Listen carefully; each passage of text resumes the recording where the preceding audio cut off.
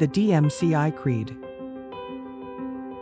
We believe that construction is a noble profession whose activities are vital to economic development and national progress.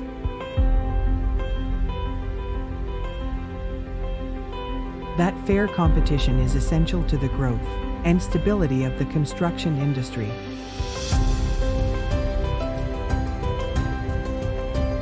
That a contractor's primary responsibility to his client is to give his best in faithful compliance with their agreement.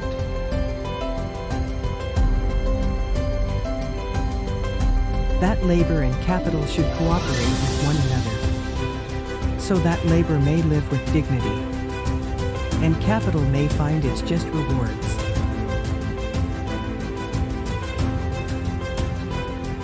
That the ill-gotten violates business ethics and the ill-conceived wreaks havoc on the public good.